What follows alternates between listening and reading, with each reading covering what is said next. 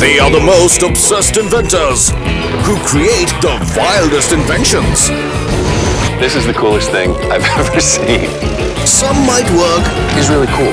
but some might not. And it doesn't really work. How do they create something out of nothing? I have no idea! Let's travel with John Bowler to meet these mad scientists. Monday to Friday, 8 p.m. on National Geographic Channel.